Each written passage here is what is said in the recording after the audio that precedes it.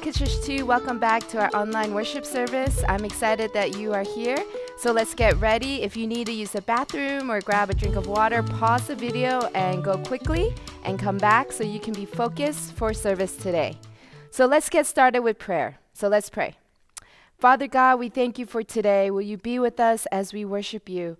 Lord, let us know that we are created to worship you, that we are created to worship you in spirit and in truth.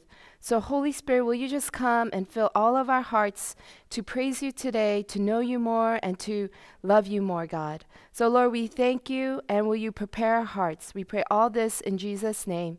Amen. Well, amen. Let's get up and let's get ready for worship.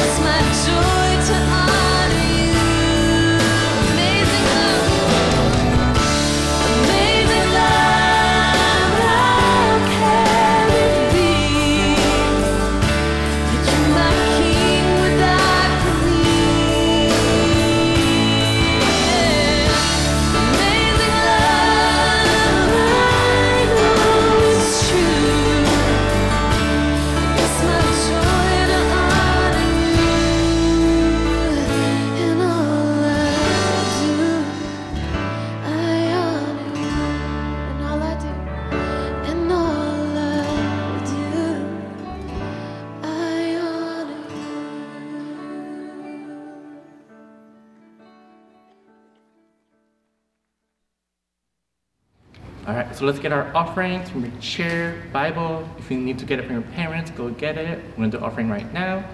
You can say a small prayer before you put in two hands in respect. Part of our offering, part of our worship. So let's start.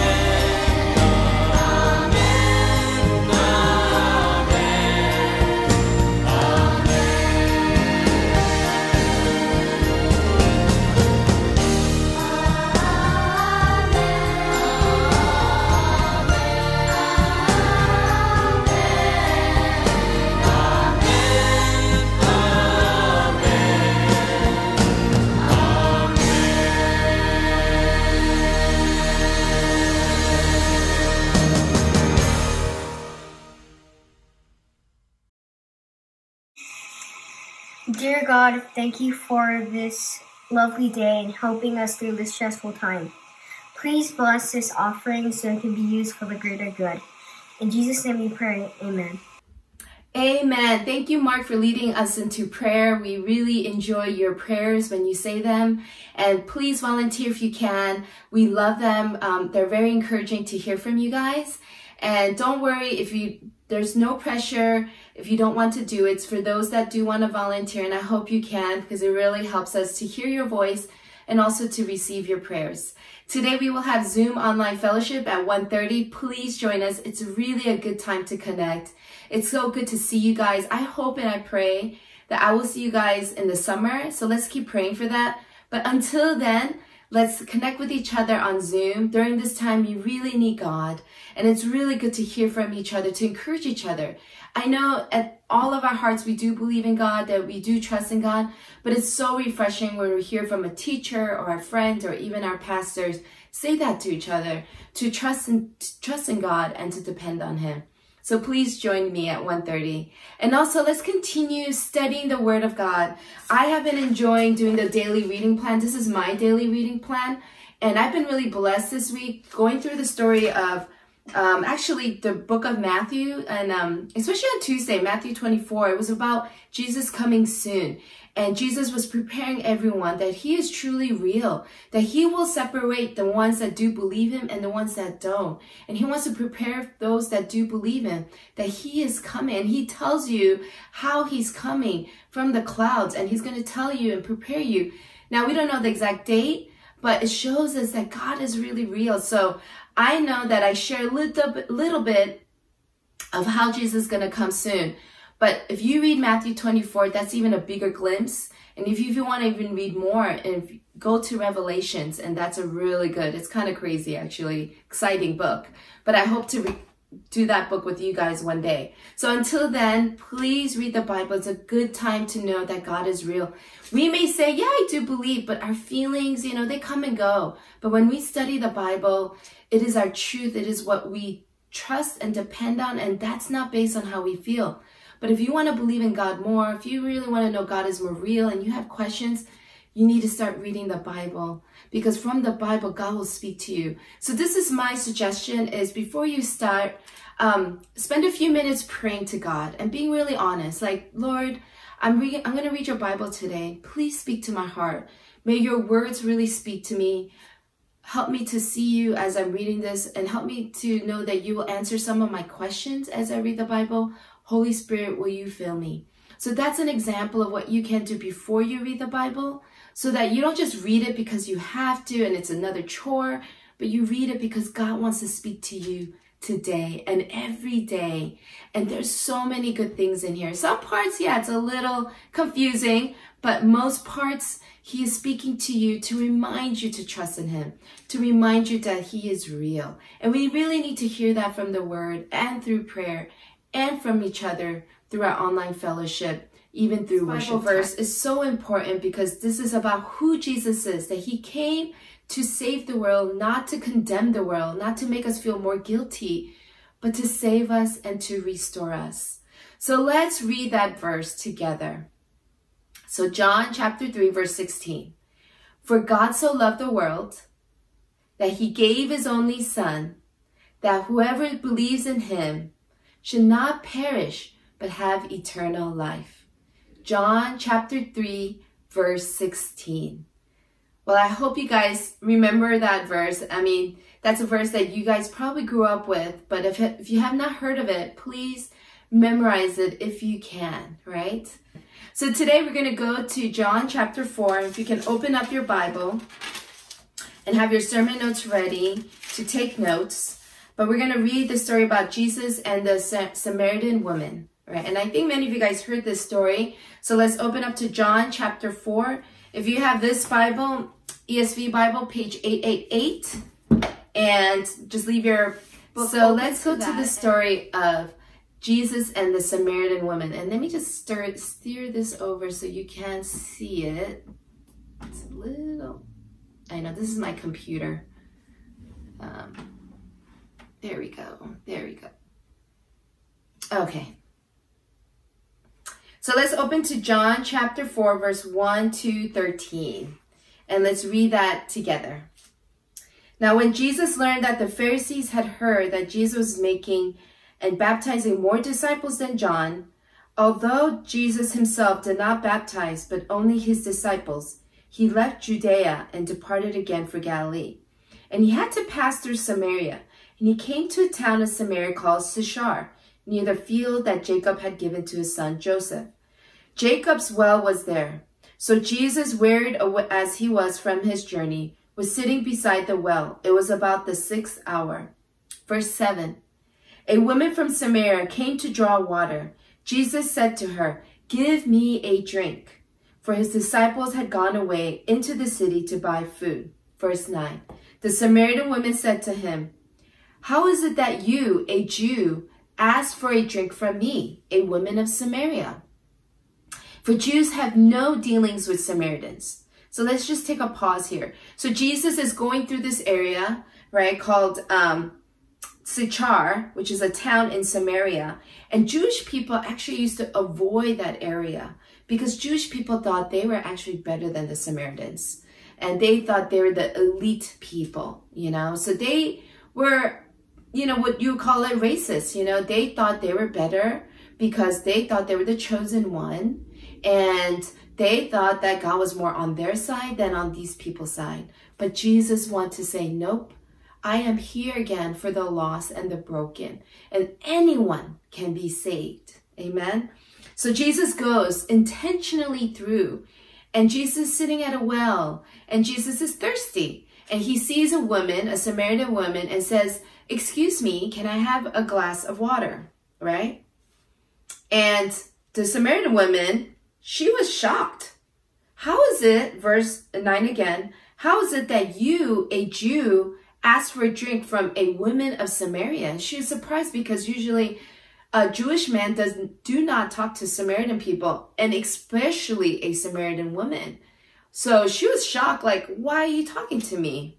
Verse 10 Jesus answered her, If you knew the gift of God and who it is that is saying to you, Give me a drink, you'd have asked him, and he would have given living water.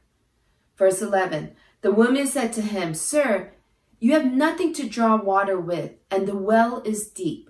Where do you get that living water? Where do you get this living water? Verse 12 Are you greater than our father Jacob?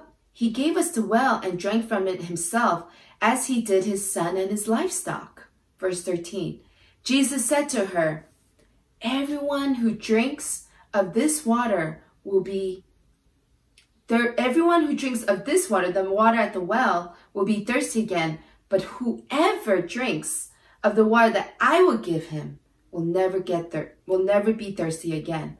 The water that I will give him, I'm sorry, I lost my spot. The water that I will give him will become in him a spring of water welling up to eternal life.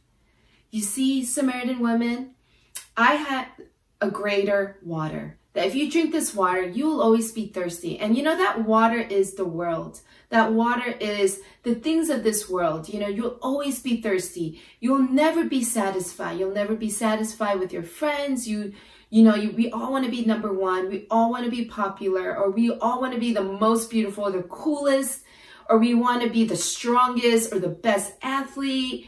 And, you know, with the world, you will never be satisfied. And I've seen a lot of famous actors and actresses or even athletes who have everything and they're not even satisfied and they go through a even dark place.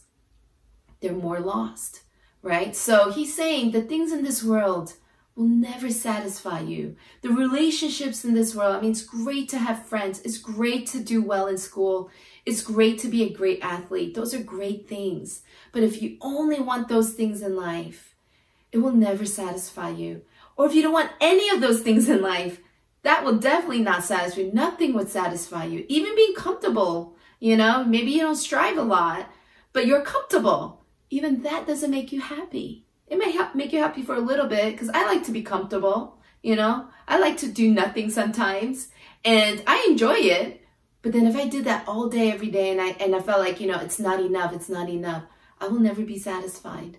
And Jesus saying, I am the only one that can satisfy your life. I am the only one that can give you full peace and full joy in this world, in this world.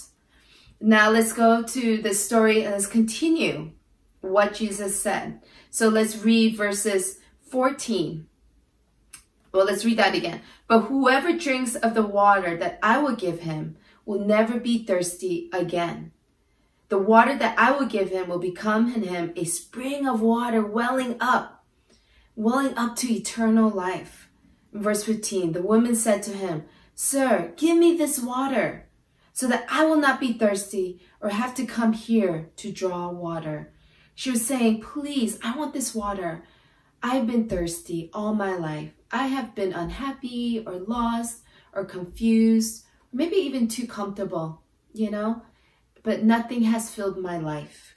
In verse 16, Jesus said to her, Now, this is interesting. He switches it up and says, Go call your husband and come here.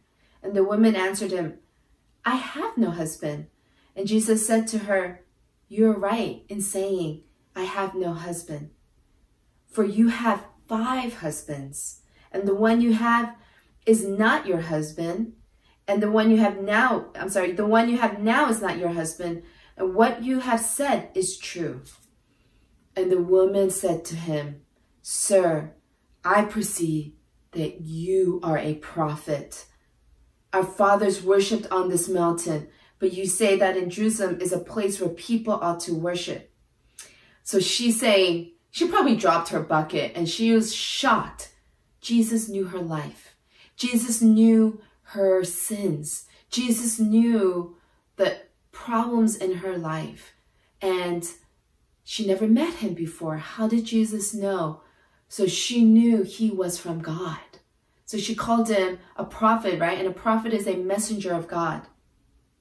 In verse 21, this is what Jesus said to her Woman, believe me, the hour is coming when neither on this mountain nor in Jerusalem will you worship the Father. Verse 22. You worship what you do not know. We worship what we know, for salvation is from the Jews. But the hour is coming and is now come when the true worshippers will worship the Father in spirit and truth. For the Father is seeking such people to worship him. Verse 24 God is spirit, and those who worship him must worship in spirit and truth. Now, Jesus is telling the Samaritan woman that now it doesn't matter if you're Jewish or a Samaritan woman, doesn't matter who you are, but we all can worship God in spirit and in truth through Jesus, through Him, right? That we all can be saved, that we all can worship in spirit and in truth. Now, we worship God in spirit means through the Holy Spirit. And what does truth mean? Through the Word of God. So we sing praises, we pray, we hear the message by His Spirit, by the Holy Spirit. As you are listening to me, the Holy Spirit is with you. The Holy Spirit is with you to help me and help you to understand the Word of God so that we can worship God in spirit and in truth. Isn't that amazing? Now she responds, verse 25. The woman said to him, I know that the Messiah is coming, he who is called Christ. So she heard that the Messiah is coming. She heard this story and she's excited. She's wondering when this is going to come. And when he comes, he will tell us all these things. Verse 26 Jesus said to her, I who speak to you am he. And that's probably when she probably dropped the buckets, you know? Maybe for the other one, she was like, oh my goodness, like frozen. And this time, she probably just dropped that bucket and water splattered because, what? You are the Messiah? I am talking to the Messiah. You're the one that knew all my sins. And you still are here. And I know Jesus was loving to her and not condemning, but just gave her grace saying, I know your life. You can't hide from anyone. And you know, Jesus knows our life. Jesus cannot hide, or we can't hide from Jesus. Jesus knows our needs. He knows our secrets. He knows our sins. He knows our deepest thoughts, our good thoughts and our bad thoughts. He even knows our doubts. And what we can do is trust that God is with us in those moments, that we are not alone. And in those struggles that you may have, or in those moments, speak to God, speak to Jesus, and say, Jesus, I want to hear from you. I want to know that you are with me at this moment. And God may lead you to a Bible, to open up the Bible. He may speak through to you through that way, or it may be through prayer. And here, she dropped everything, and she actually ran to her town members and told everyone that she met the Messiah. She met Jesus. So let's read this verse, John chapter 4, verse 13 to 14. Jesus said to her, Everyone who drinks of this water will be thirsty again. Whoever drinks of the water that I will give him will never be thirsty again. The water that I will give him will be in, in him a spring of water welling up to eternal life. And this water for us is the living water, water that fills us, that, that restores us, but also gives us eternal life, right? And that water would be the Holy Spirit. So I have a little experiment that I want to show you guys of what that could look like in our lives when we receive the living water from Jesus. So I'm actually going to ask my son Josiah to help me. So Josiah, if you can come here and say hi to everyone. Hi, everyone. And if you can bring this tray over carefully. Ah. Okay. All right. So we have our living water, right, which is right here. Okay. And then we have, let me move this over. This is us. All right. Let's put that here. And then, let me move over. Okay. And this is sin. All right, so I'm to put living water. This is us right here. And right here is us. And this is the living water. And this is sin, right? And sin is, you know, things that are not pleasing to God, things of this world that really um, doesn't help us to worship God. So anything that is more important than God, anything that's more important than who God is, right, becomes sin, right? So if sin comes into our life, we need the the living water. So Josiah, if sin came in, so when we were born, we're all fresh. We were created in the image of God. We're all clean. And then sin, we were born with sin, right, from Adam and Eve. So sin comes in. If you can squish that in there. So that's good. Thank you. So it's pretty contaminated, right?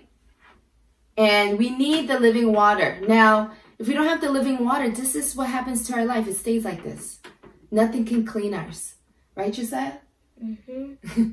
so we need the living water to clean our sins, right? To clean us, right? To give us new life, just like the Samaritan woman. So this is the living water. And let's see what happens. This is the Holy Spirit that we, when we believe and we give our life to Jesus, this is what happens to the sin in our life. If you can pour that in.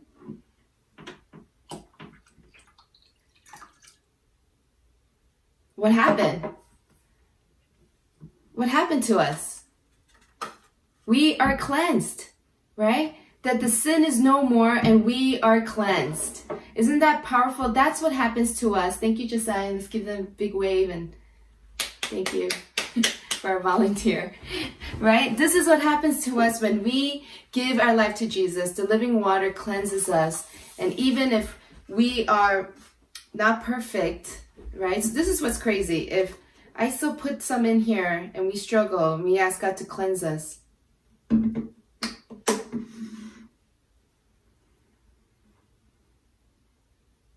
And as we pray, it doesn't stay in. I think that's what's powerful. When the living water fills in us from the beginning, from the moment you gave your life to Jesus, that sin, that still we struggle with our sin, right? It doesn't stay in our heart. We ask God to cleanse us again, and it's always gone. It's always forgiven. And that's the powerful part of who Jesus is. This is how powerful Jesus is that he gave his life so that our life can live like this. And again, if something happens to us, if someone sinned against us and we're hurt, but because we're Christians, because we're born again, and it stays in our heart, we don't feel good, it contaminates us, right? Then we pray, we ask God, will you cleanse us? Will you fill me again with the living water? And because the Holy Spirit already dwells in us, Jesus has forgiven us. This is how powerful it is. It doesn't stay contaminated anymore. So we are forgiven. That is the powerful story of Jesus and the Samaritan woman that we are forgiven. Amen. So I hope you guys really keep this into your heart. I'm going to actually show you guys a video clip of a man who encountered Jesus. Now, he did not believe in Jesus. He did grow up in a Catholic church and he had questions about Jesus, but no one was answering them. So he said, forget it. I don't believe in Jesus. And he went through a dark life. He chose to do drugs and bad things. And one time he did drugs and he almost died. He was not fully alive. So he was unconscious. He was on the floor unconscious. And that's when he got to experience actually a little bit of hell where it was hot and burning and he was crying out and he wanted to get out.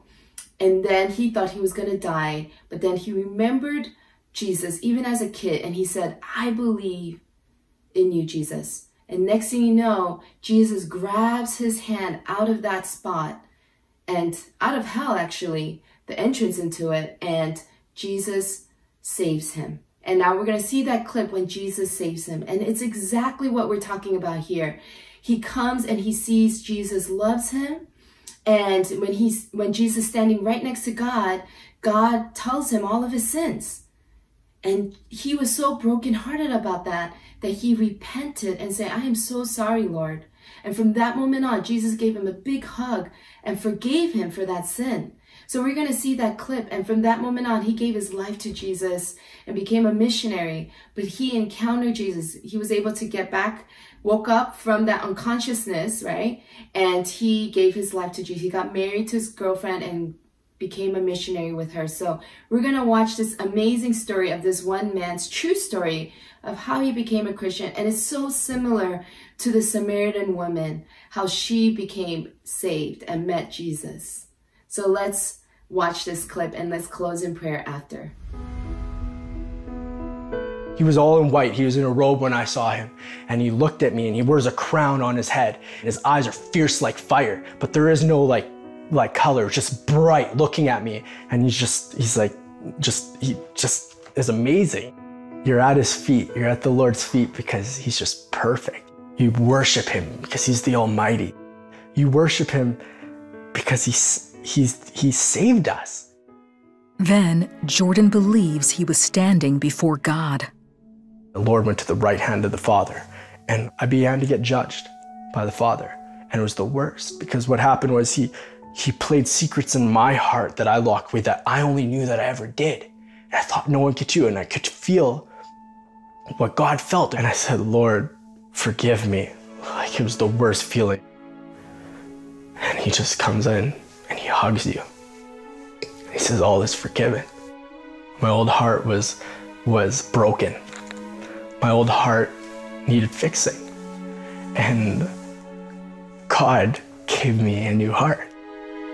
All of a sudden, He told me He loved me, that I'm not alone, that I've never been alone. He showed me all the times in my life where I thought I was lucky, that I thought I was alone, but how His hand was always just upon me. And He was always right there pursuing me nonstop. He hugged me again, told me He loved me. And all of a sudden, it was like, I'm back in my trailer room on the floor. I grabbed the Bible. It was like it was glowing and I held it. I opened up the Bible. First thing I ever read out of the Bible was Psalms 34. The happiness of those who trust in God. I began to read it and it was everything that just happened to me. Only God can do that. Jordan shared his journey to heaven and hell with his girlfriend Danica. His voice changed, his eyes changed, his body language changed. Everything about him was new. It was different. So there was no doubting that he had had the experience that he did.